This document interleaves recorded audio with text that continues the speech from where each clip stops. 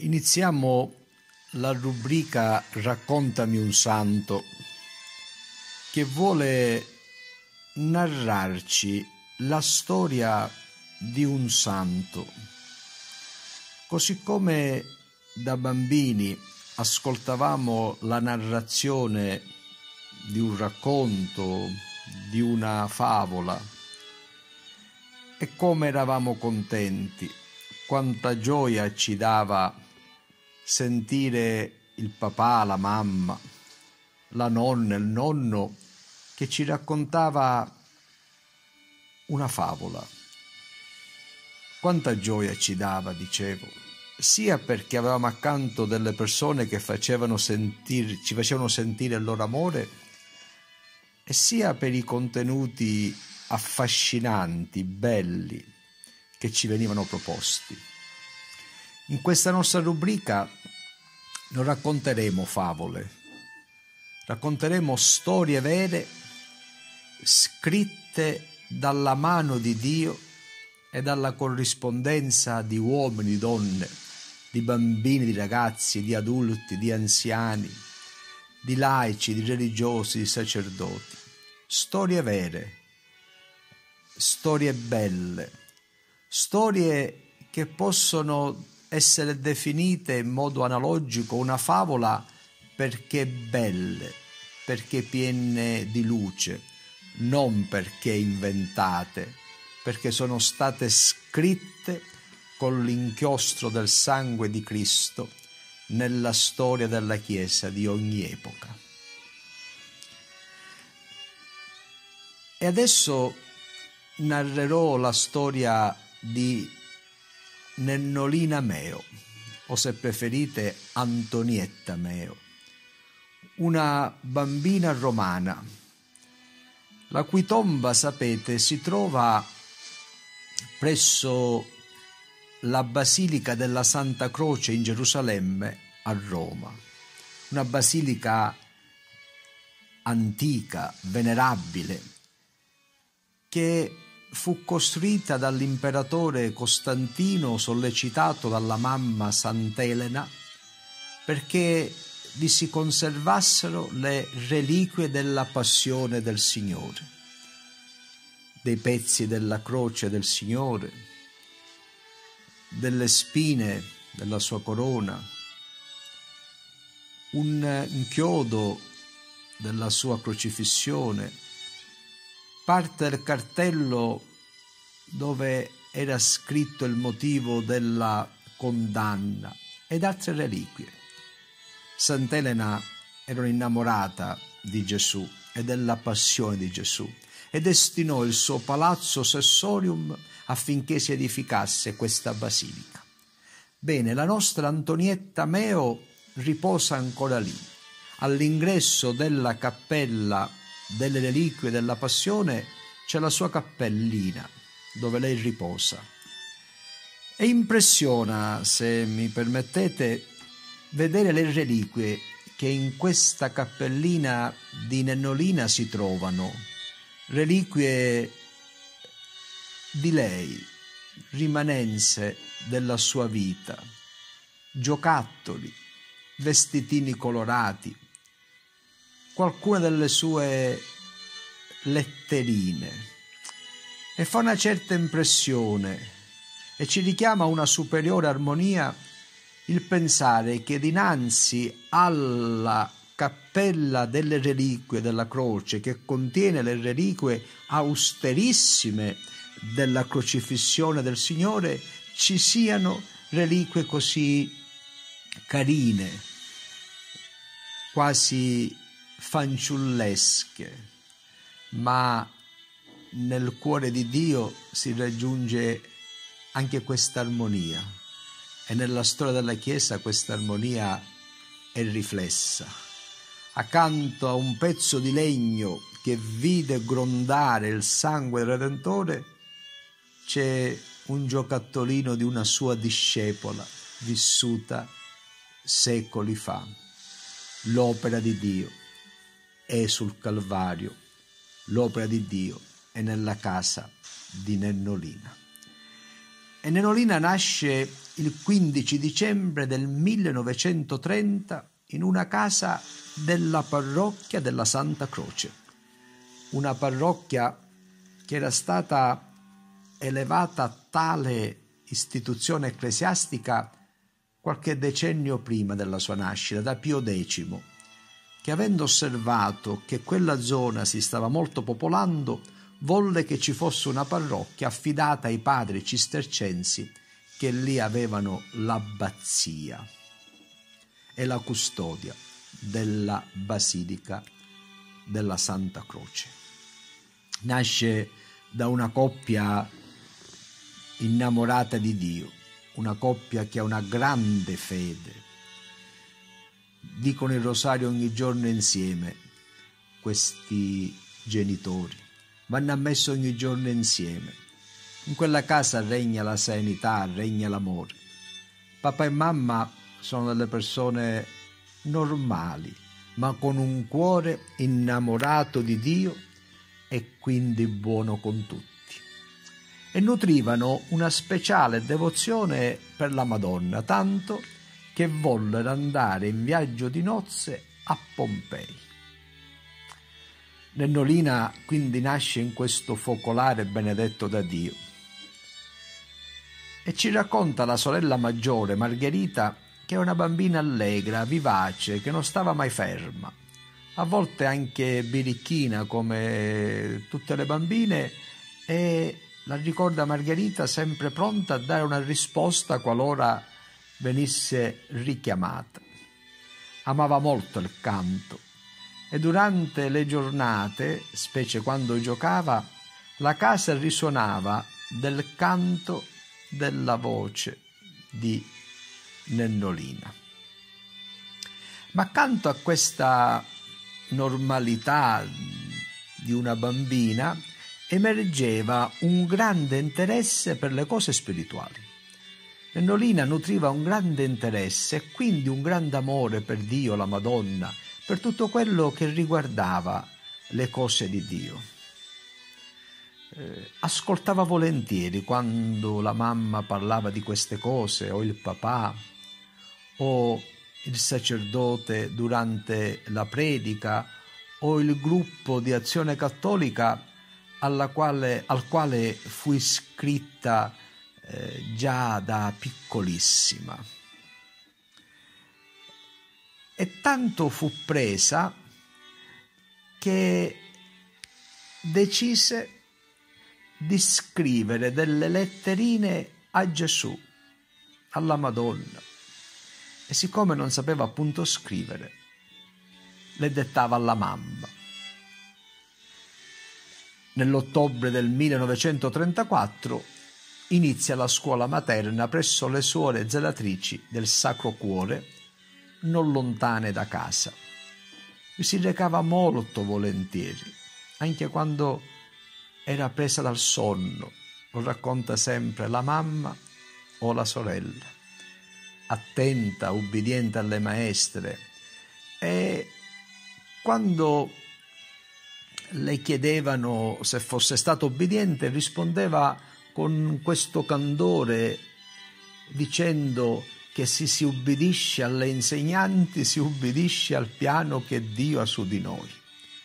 Vedete una bimba di circa quattro anni che parole dice e che luce hanno queste parole.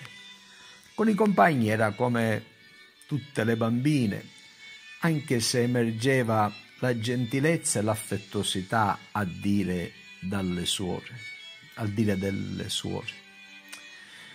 Aveva un affetto speciale per i compagnetti. Una suora raccontò che un giorno un suo compagnetto molto irrequieto di nome Michelino fu messo in castigo per una delle sue. E Nennolina ci rimase male si alzò, andò dalla maestra per intercedere a favore di Michelino, ma la suora maestra, anche per eh, metterla alla prova, forse anche per farla tacere, disse eh, io ormai non posso fare più nulla, può essere la preside che può, può togliergli questo castigo. La piccola Nennolina chiese il permesso di andare a parlare con la preside e ci andò.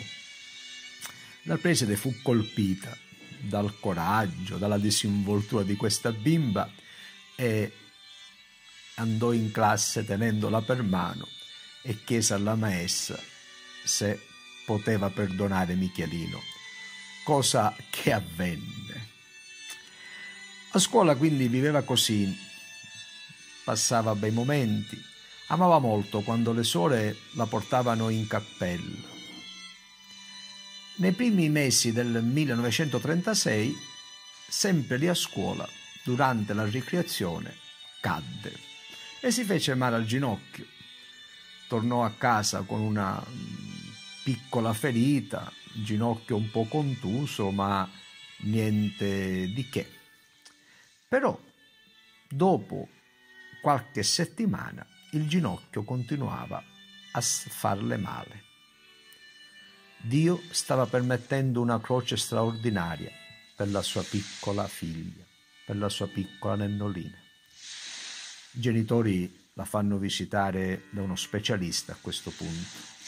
25 aprile si scopre che c'è un tumore alle ossa e bisogna amputare la gamba sinistra. Un verdetto terribile. Però per salvare la bambina bisognava farlo. La bambina viene ricoverata, 25 aprile per l'appunto operata, e quando si svegliò la mamma l'accarezzò e con le lacrime agli occhi disse figlia mia, un giorno tu hai detto che se Gesù ti avesse chiesto la mano gliel'avresti data, invece ti ha chiesto la gamba. Che visione soprannaturale questa madre.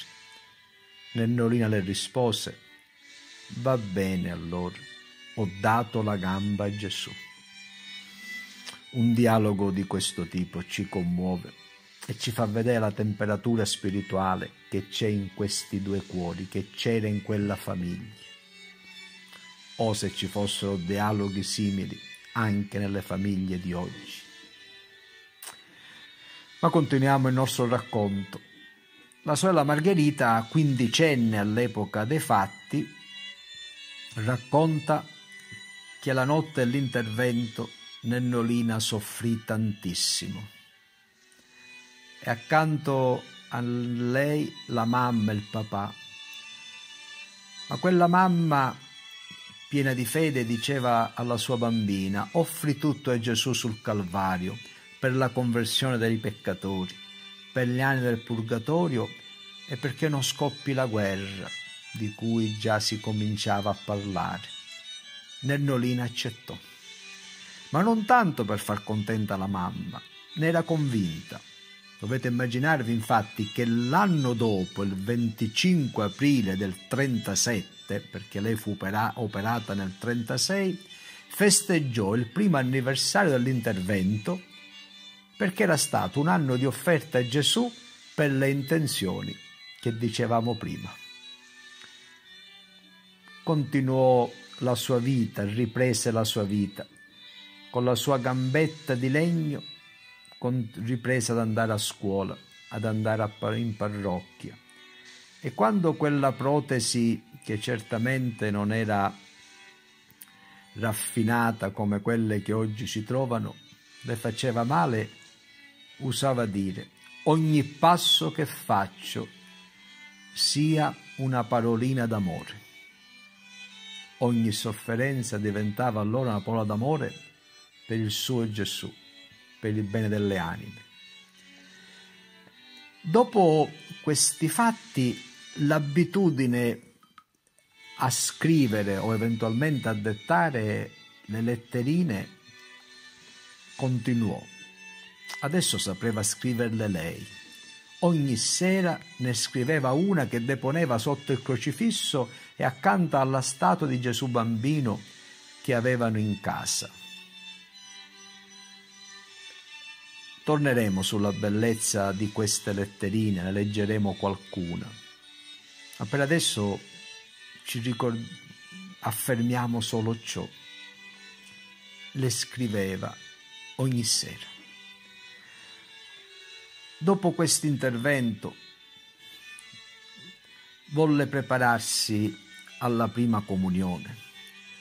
E indovinate chi fu la catechista? La mamma. D'accordo col parroco e con le suore, la mamma le fece da catechista. Che mamma! E come sarebbe bello averne oggi tante così. Nenolina scrive una lettera alla madre superiora della sua scuola affinché possa fare la prima comunione nella loro cappella e magari la notte di Natale. Permesso che le fu accordato. La notte di Natale del 1936 fece la sua prima comunione Fu un momento di paradiso per lei, ma anche per chi ebbe la grazia di assistervi. Sempre la sorella Margherita ci racconta che dopo la messa la bambina volle rimanere in ginocchio per fare il ringraziamento. Rimase in ginocchio per più di un'ora, in ginocchio con quella gamba di legno che spesso le faceva male. Dopo la prima comunione scrisse queste parole. Caro Gesù Eucaristia, sono tanto, proprio tanto contenta che tu sei venuto nel mio cuore. Non partire più dal mio cuore, resta sempre, sempre con me. Gesù, io ti amo tanto, io mi voglio abbandonare nelle tue braccia fa di me quello che vuoi. O Gesù amoroso, dammi anime, dammene, tan- dammene tante. Te lo chiedo volentieri, te lo chiedo perché tu le faccia diventare buone e possano avere con te in paradiso. Lo Spirito Santo parla in questa bambina di sei anni. L'insegnamento ricevuto stato benedetto e suscitato dallo Spirito. Solo così si possono giustificare tali parole. Nennolina va avanti, ma la croce l'accompagna.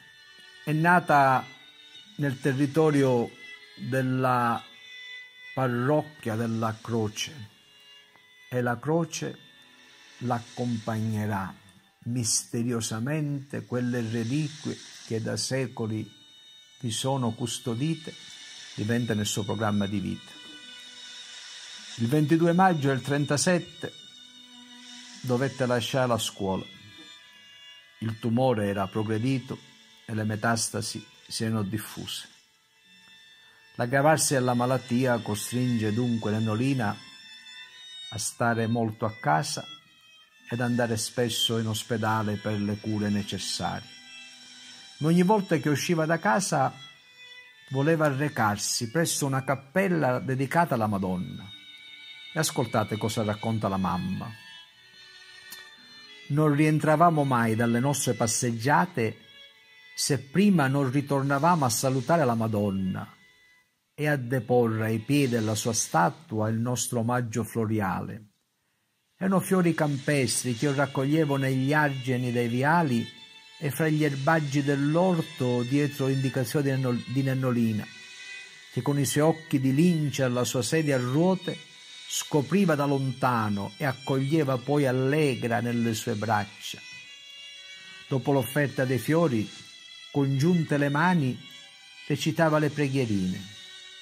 Infine, mandando un bacio salutava graziosamente con la manina, al suo solito modo diceva ciao Madonnina cara.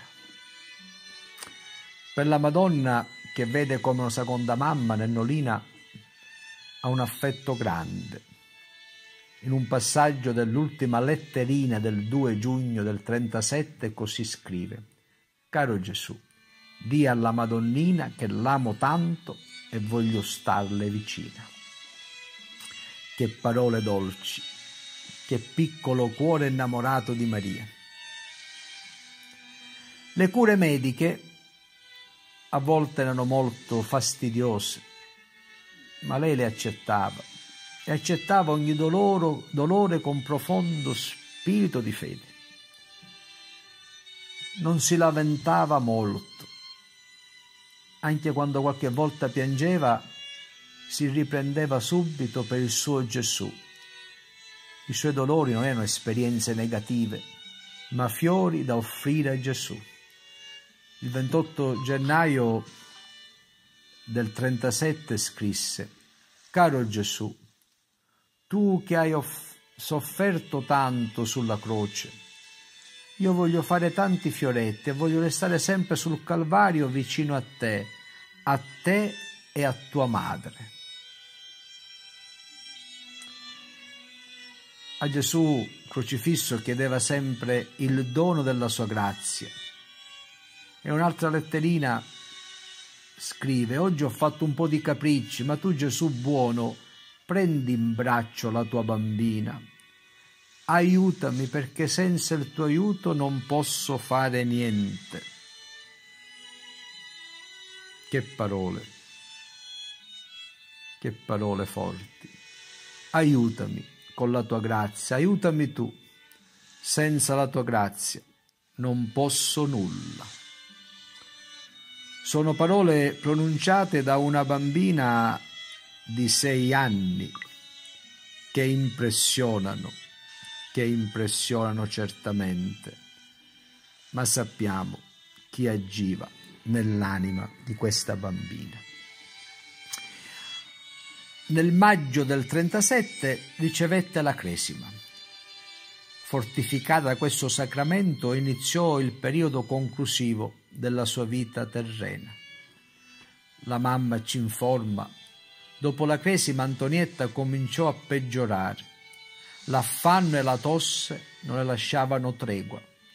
Non riusciva più neanche a tenersi seduta e fu costretta a letto.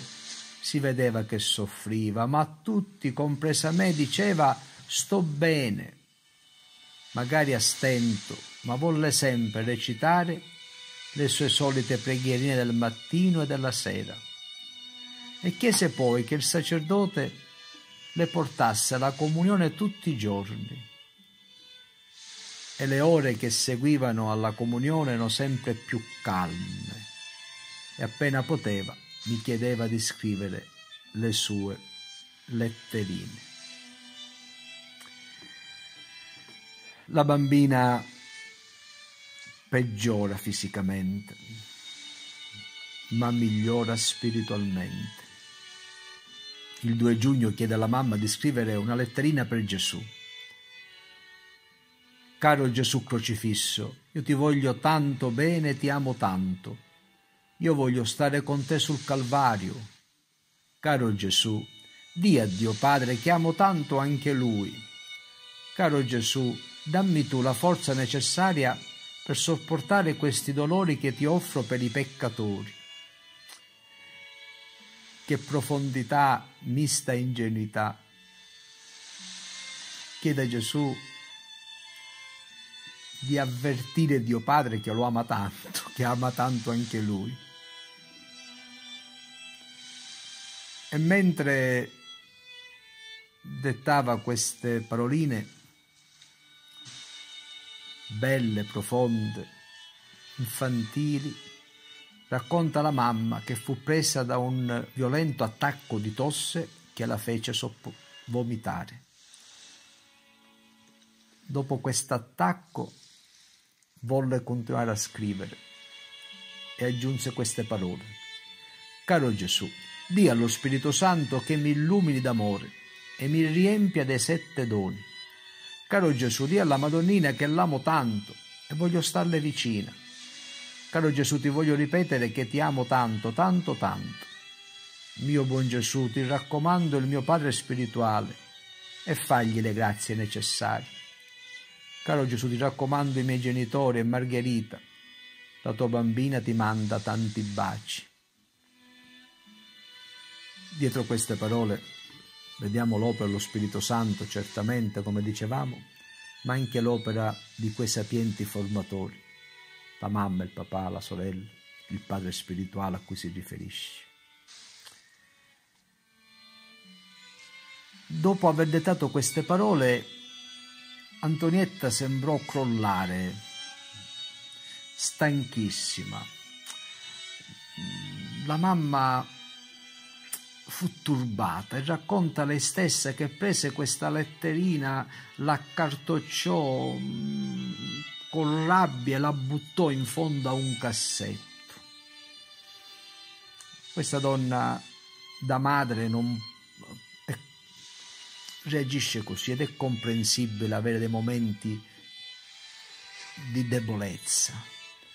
Lei che aveva insegnato a soffrire e a offrire ha un momento, mi ripeto, di stanchezza, di debolezza, veder soffrire quell'angelo di figlia giustifica agli occhi di noi deboli una tale reazione.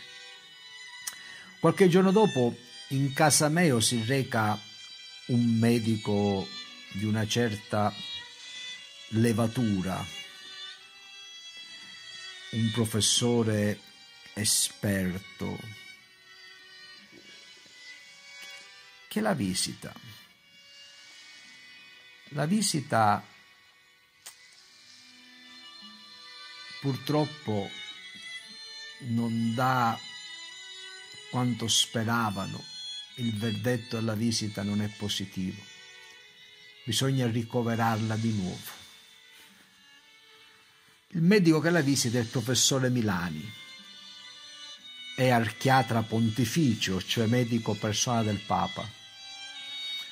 Uscendo il papà, Me, di, papà di Nennolina, il signor Meo, l'accompagna e dice che la sua bimba è serena, prega molto e scrive delle letterine a Gesù, alla Madonna, ai santi. L'archiatra era già stato colpito dall'ossia di Nennolina e chiede al papà se può avere una di quelle letterine che magari potrebbe far vedere al Papa qualora si presentasse l'occasione. La mamma va a prendere, guarda caso, quella letterina accartocciata con rabbia e conservata in fondo a un cassetto. Il medico la stira, la legge, rimane colpito, se la mette in tasca e va via. Capiamo cosa ha fatto questo professor Milani, perché l'indomani un delegato mandato da Pio XI, porta la benedizione del Papa ad Antonietta.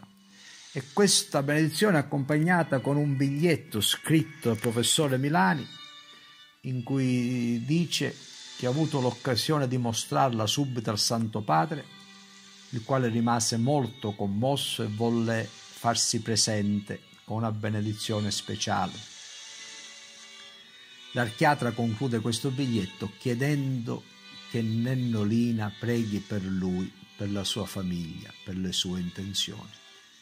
Immaginate che impressione dava una bimbetta di appena sei anni. Dopo questo ordine del professore, la bambina viene trasportata in ospedale per le ultime cure mediche. Il tumore purtroppo è molto avanzato. Le comprime il petto, tanto che le sposta il cuore. Le metastasi sono diffuse in tutto il corpo, bisogna intervenire perché quantomeno non soffochi. Non saranno interventi risolutori, ma saranno interventi che eviteranno conseguenze immediate.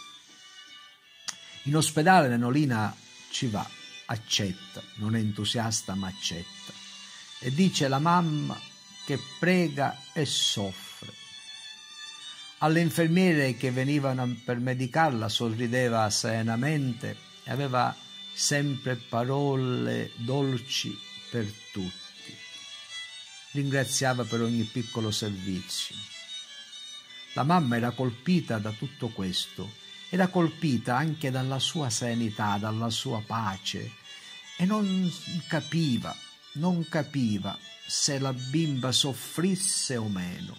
Anzi, a un certo punto pensò che non sentiva più niente al di là di quanto dicevano alcuni. E racconta sempre la mamma che un giorno tra l'arrabbiata, il disperata, l'incuriosita, la risentita, ecco, mm, va dal medico di turno e dice, dottore, eh, mi deve togliere una curiosità. La prego, sia sincero, ma mia figlia sente dolore, perché la vedo sempre sorridente e serena. Dottore, io non ci creda, non ci credo che soffre, mi dica la verità. Il medico la guardò con severità, quasi rimproverandola. Ma cosa dice, signore? Signore, i dolori di sua figlia sono atroci. La mamma rimase turbata, ebbe quasi il rimorso per aver dubitato e toccò con mano la santità di questa figlia, la santità di Dio partecipata a questa figlia, che offriva tutto al suo Dio per amore e non si lamentava. Allora lei stessa lo racconta, si mise a piangere.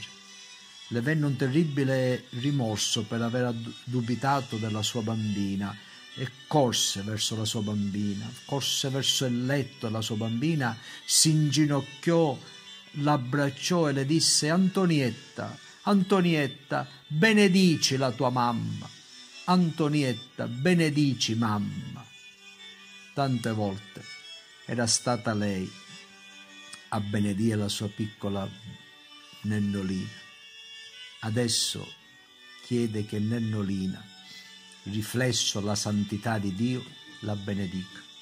E racconta che Nennolina con uno sforzo uscì la mano da sotto le coperte e fece un segno di croce sulla fronte della sua mamma, come tante volte la mamma aveva fatto con lei. Le sorrise e richiuse gli occhi per riposare. La santità di Nennolina si nota, si tocca con mano.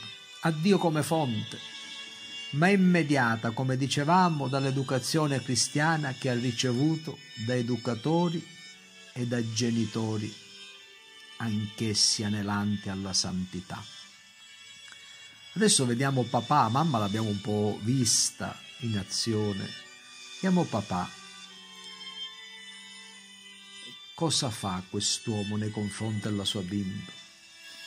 Accanto alla mamma c'è lui, è sottinteso e quando vede che la sua bimba si va aggravando, pensa che sia opportuno che riceva il sacramento dell'unzione degli infermi. Prega per avere le parole giuste da rivolgere ad Antonietta. Un giorno si avvicinò al letto della figlia e le chiese, Antonietta, sai cos'è l'olio santo? Rispose la bambina, il sacramento che si dà ai moribondi conosceva bene il catechismo la piccola Antonietta. Il padre, per non spaventarla, le disse che aveva ragione, però, sai, disse pure, tante volte porta anche un po' di salute fisica. A questa risposta Antonietta disse, papà, è troppo presto. Il papà non parlò più. Con le lacrime agli occhi si allontanò. Dopo Qualche ora si avvicina il sacerdote che la seguiva e riprese un po' il discorso del papà. Però questa volta non parlò a Nennolina di guarigione fisica che poteva arrivare, parlò dell'effetto fondamentale dell'unzione che è l'aumento della grazia di Dio nella vita del cristiano. A queste parole Antonietta cambiò idea.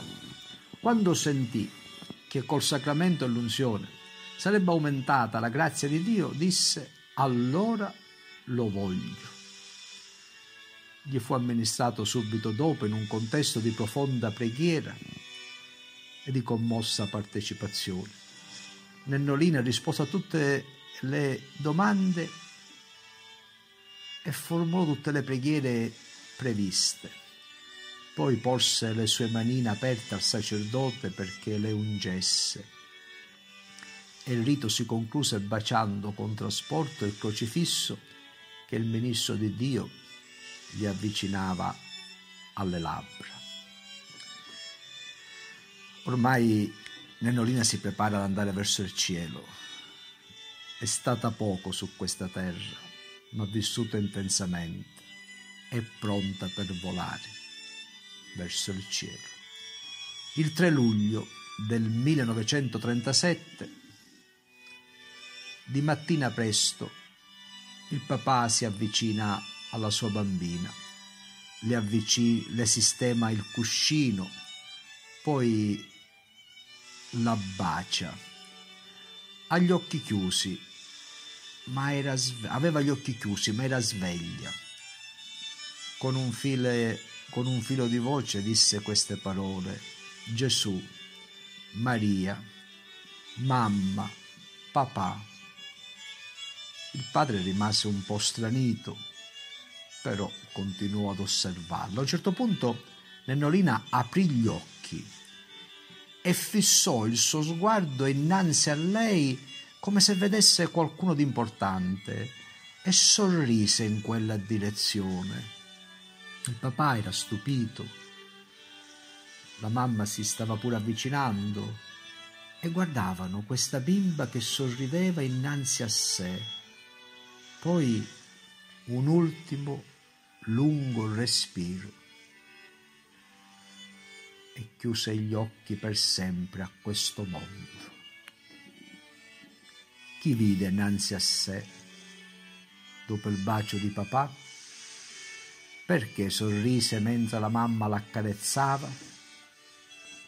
Forse vide un'altra mamma, la Madonna, che era venuta a prenderla per portarla in cielo accanto a quel padre quel figlio, quello Spirito Santo, quegli angeli e quei santi ai quali aveva indirizzato le sue letterine.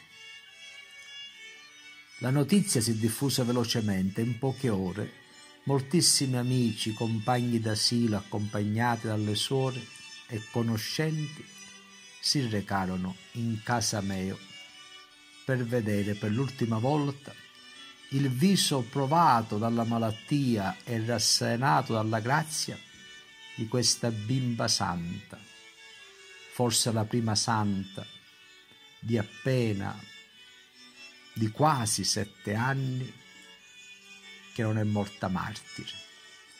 L'indomani, la piccola bara bianca, circondata da un mare di persone, accompagnata dai monaci cistercensi e dalle bambine all'azione cattolica, entrò in chiesa per il funerale. Entrava santamente morta nella chiesa dove quasi sette anni prima era stata battezzata si realizzava la vocazione del battesimo, battezzati per essere santi apostoli. E Nennolina, in meno di sette anni, realizzò tutto.